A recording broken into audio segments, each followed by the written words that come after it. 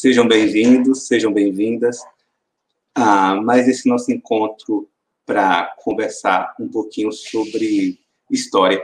Eu me chamo Danilo Fé, sou professor de história e hoje a gente vai conversar um pouco sobre a memória e de como a memória ela acaba por ter influência em situações cotidianas de nossa vida. Primeiro, a gente vai tratar da memória individual que cada um de nós tem. Depois, a gente vai pensar na memória coletiva que marca a sociedade. Também a gente vai falar da memória como um objeto de disputa entre os vários grupos que compõem uma sociedade em geral. Eu sou homem, sou negro, estou vestindo uma camisa branca e vermelha e estou no espaço onde eu tenho alguns logotipos da Secretaria da Educação e da Prefeitura de Feira de Santana. Eu vou abrir agora meu slide.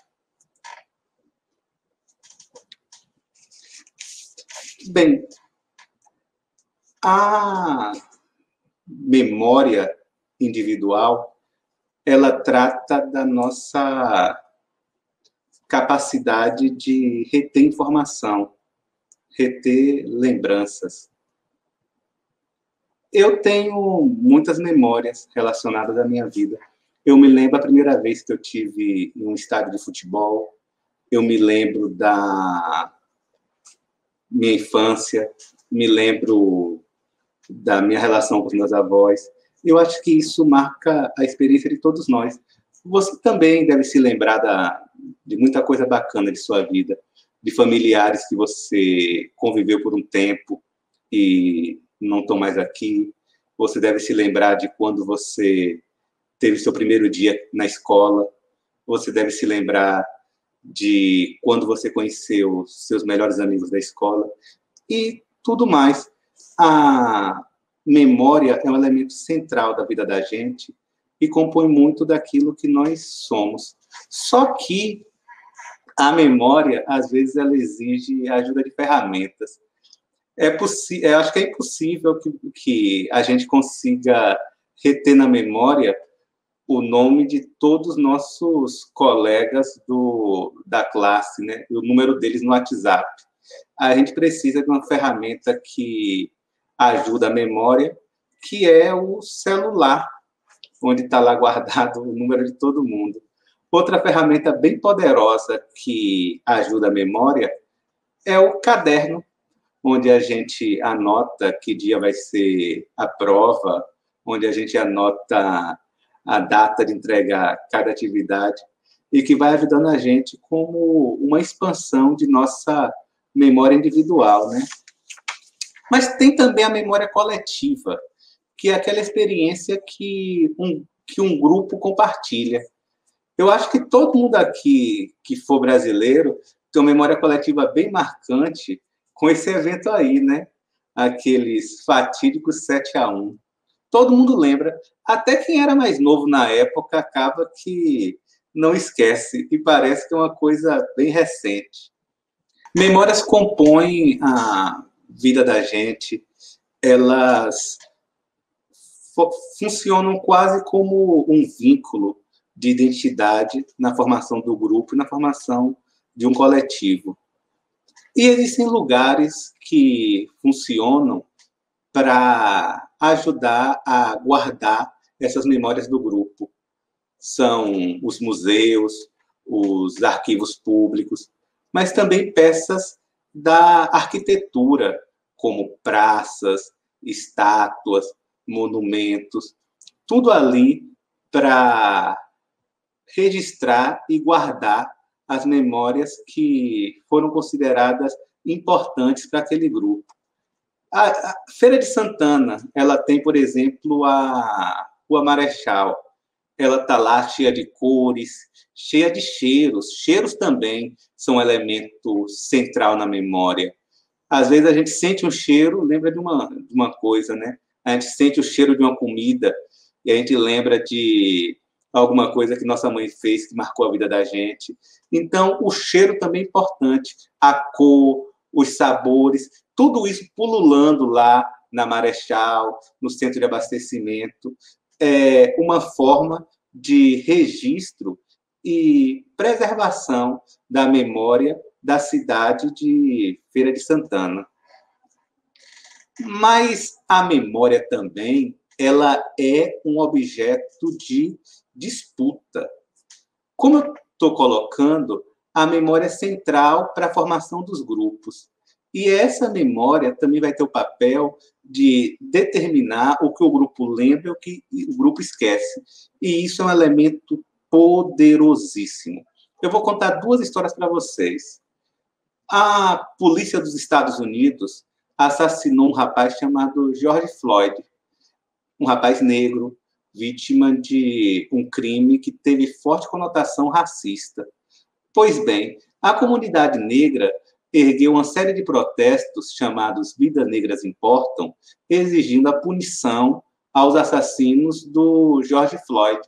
Primeiro nos Estados Unidos, e esses protestos se espalharam por todo o mundo, chegando a dois eventos que acho que é relevante contar. Um aconteceu na cidade de Bristol, na Inglaterra, e o outro na cidade de Antuérpia, quando estátuas de personagens que tinham defendido a escravidão e a opressão do povo negro foram atacadas.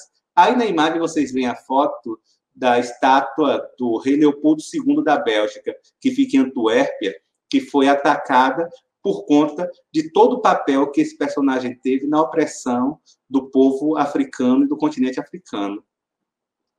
Bem, o outro exemplo que eu quero contar para vocês é sobre a inauguração da estátua do João Cândido, no Rio de Janeiro, em 2008. Mas quem foi João Cândido? João Cândido, o chamado Almirante Negro, ele liderou uma revolta que foi a chamada Revolta da Chibata. O que acontecia? Até o ano de 1910, a Marinha Brasileira ainda aplicava castigos físicos nos marinheiros. Sim, isso acontecia, e nem tem muito tempo isso os marinheiros que, por algum motivo, aborreciam os oficiais, eles eram castigados com chibatadas no, no, no, nos seus próprios corpos. E o João Cândido liderou esse movimento, exigindo que isso parasse. Pois bem, após o fim da revolta, João Cândido foi preso, foi torturado, e todo o processo que houve de popularização do nome dele na comunidade foi atacado e houve um processo de tentativa de invibilização do nome dele. Até um, espetáculo de círculo que fazia menção à trajetória dele foi proibido. Um filme feito em homenagem à sua vida foi proibido. E até uma música, que eu vou colocar um trecho para vocês, chamada Mestre Sala dos Mares, que fala sobre a trajetória de vida dele, foi duramente censurada e teve a letra bastante alterada.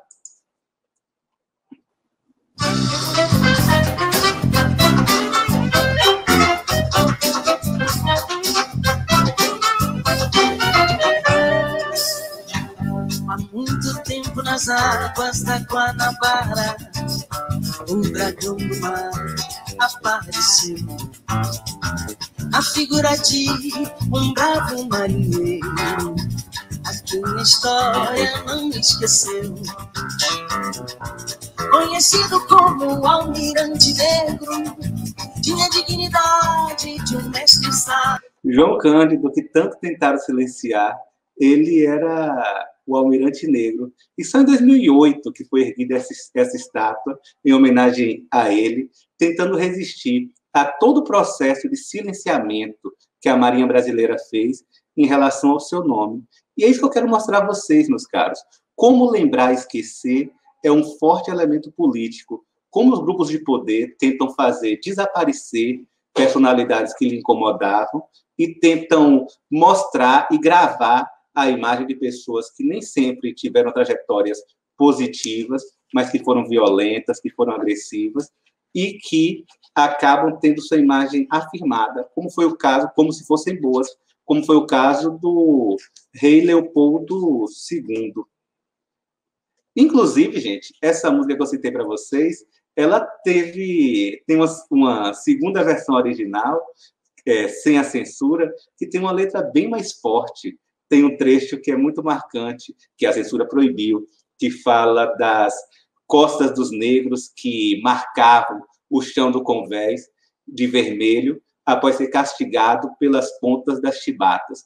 Tudo isso, todo esse processo, ah, os poderosos, no caso da ditadura militar que houve no Brasil, tentou silenciar nessa tentativa de apagamento da memória do João Cândido. Então é isso, pessoal. Hoje a gente estudou um pouquinho da memória, a gente viu que existe a memória individual, que é aquela que a gente carrega no, no, nível de pessoa, de indivíduo. Existe também a memória coletiva, e a gente viu o quanto essa memória coletiva ela é poderosa e é objeto de disputa, porque quem tem o poder na sociedade vai sempre querer determinar o que vai ser lembrado e o que vai ser esquecido. Eu espero que vocês não esqueçam do que a gente tratou aqui na aula e também não se esqueçam de mim. Eu deixo meu abraço a vocês o agradecimento pela atenção e aguardo no próximo encontro. Um abraço, gente. Tchau.